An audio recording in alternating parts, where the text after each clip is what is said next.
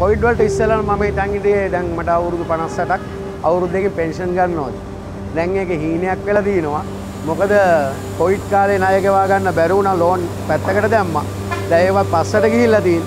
මේ ආර්ථිකයත් එක්කන අපි අපි හම්බ කරන දේට වැඩිය වියදම වැඩීද. ඉදිරියට යාමක් නෑ පසු පස්සට එන එකක් තමයි දැන් පේන්න.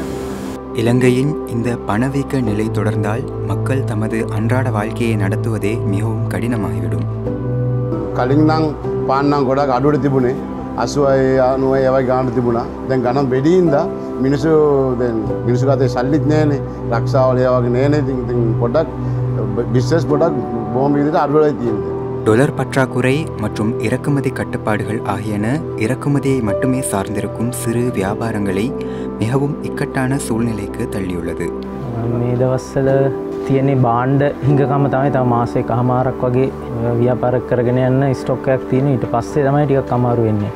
அது மட்டுமல்ல ஒரு காலத்தில் சுற்றுலா தலமாக திகழ்ந்த இலங்கை நாடானது தற்போது நிலவும் மின்வெட்டு மற்றும் எரிபொருள் தட்டுப்பாடு காரணமாக சுற்றுலா பயணிகள் தமது வருகையை மறுபரிசீலனை செய்யும் இடமாக மெல்ல மெல்ல மாறி வருகின்றது இதனால் சுற்றுலாத்துறை சார்ந்து தொடங்கப்பட்ட பல வியாபாரங்கள் முடங்கியுள்ளன දැන් තියෙන තත්ත්වය ඇවිල්ලා එක පොරිනස් කෙනෙක්වත් නෑ ඉතිං පොරිනස්ලා ආවොත් ඒගොල්ලො දෙන ආධාර ඔස්සේ තමයි අපි මේක බේසිකලිම කරගෙන යන්නේ ඉතින් දැන් එයාලා නෑ එද මේ එකක් ඇවිල්ලා රටේ තියෙන ප්‍රශ්න අනික තියෙන අර්ථය තත්ත්වයක් එක්ක අපිට මේකත් මේන්ටේන් කරගෙන යන්න අමාරුම තත්ත්වයක් තියෙන්නේ මේක අපිට වෙලා තියෙන්නේ දැන් මේක නවත්තන්න බෑ මොකොද මේ කැස්බෑ සංරක්ෂණය අපි මේ මධ්‍යස්ථාන මේක නැවැත්තුවොත් තව ඉස්සරහට ආයෙත් කැස්බෑවෝ බිත්තර කන්න කැස්බෑවංග මරන්න මිනිස්සු ආය පුරුදු වෙනවා.